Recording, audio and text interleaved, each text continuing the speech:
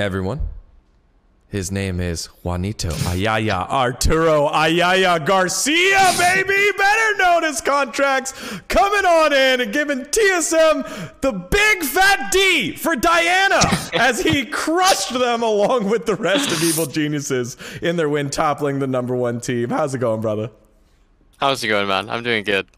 Yeah, uh, I'm just uh, I'm just so proud. I mean, I think people kind of remember, but they don't know. Like, uh, the first time we met was my first interview, and then like down the road, the first thing I did for Golden Guardians was pick you up from the Cloud Nine house, and you know it was like all this uncertainty, and to see uh, how much you've grown over the last.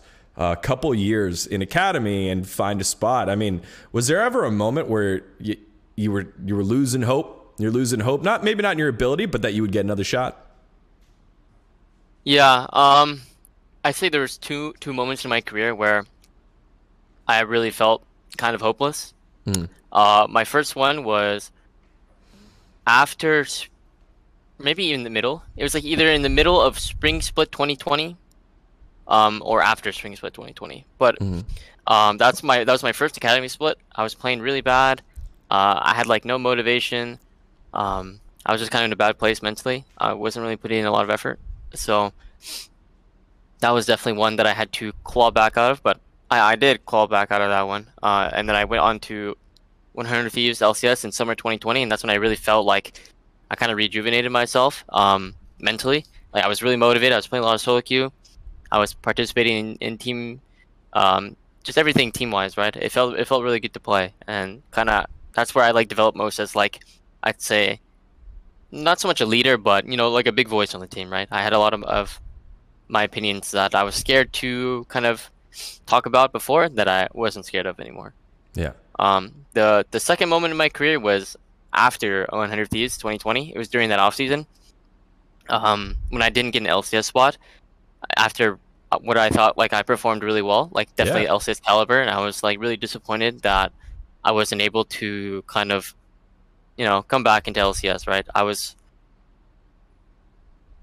I was definitely just disappointed. That I mean that that's all I was. I was just disappointed and it felt like I was losing hope, you know, because of my performances before. Um, but I mean, honestly, that translated into my spring split in academy as well. I think we ended tenth place, but um, we were able to kind of regroup for proving grounds and get fourth. So that's when I felt like I re- rejuvenated myself as well. And also the meta shifted too, so I was a lot more on conference champs. Yeah.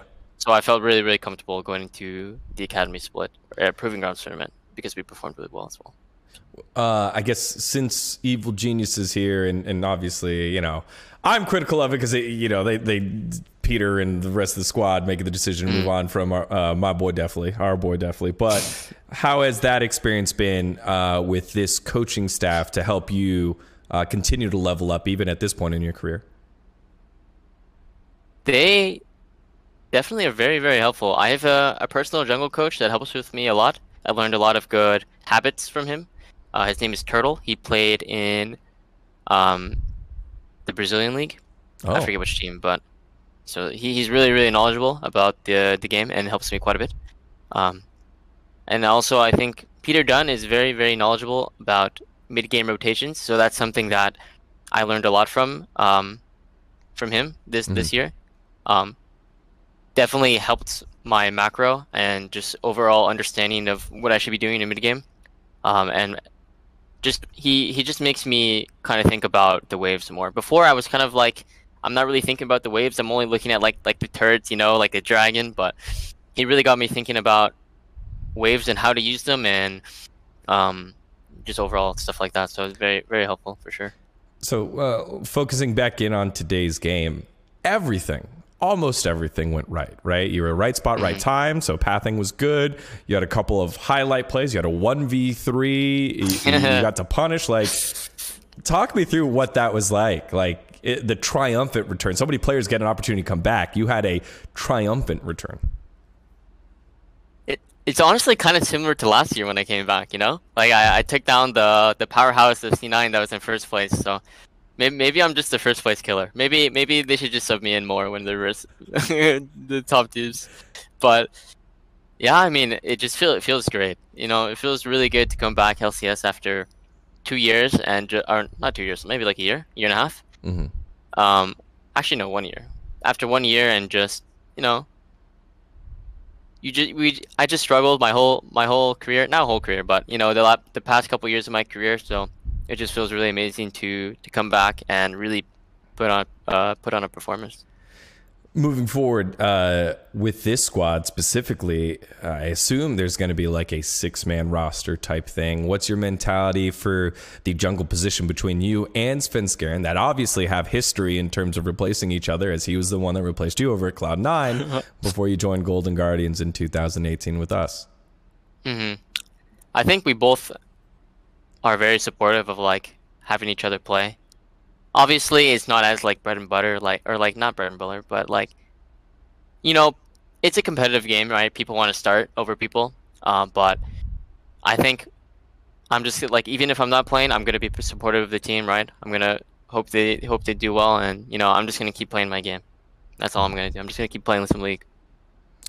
I, I will. I have to give a ton of credit to Peter because uh, we've seen so many substitutions go in this year, and his messaging on how this one was being used was the best one out of any of these swaps that we've had. Whether it's like throwing players under the bus or not saying anything at all, and so I think him kind of positioning your move is was pretty great, and uh, that brings me to one of the moves with a contemporary of yours, someone that's been in the league for a while, someone that's bounced around with teams, in Dardoch. That move what did you make of it?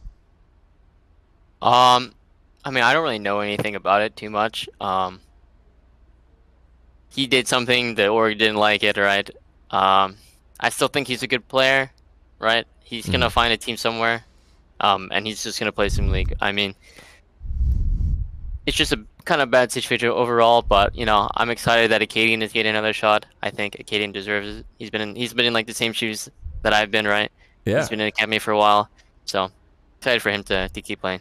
What's the next steps for you, homie? I know you keep saying like, eh, I'm just gonna play some league. They tell me in, I'm in. But like, uh, you know, like you were able to level up when you were down in academy with all this motivation. Now you've got this payoff. What's next? keep striving for the top. I mean, that's all I can do, right? I just gotta keep keep on grinding, keep on improving as a player, as a person, and play some league. If anyone sees this interview and also is an artist, make an anime little uh, uh, like outline of Juan right there that says "Keep striving for the top," and then post that to me. I will I will make it my profile picture moving forward here. Juan, it's always a pleasure. I'm so proud of you, man. I, I wish Thank you nothing you. but the best, man. thank you, thank you, appreciate it. All right, I'll catch you.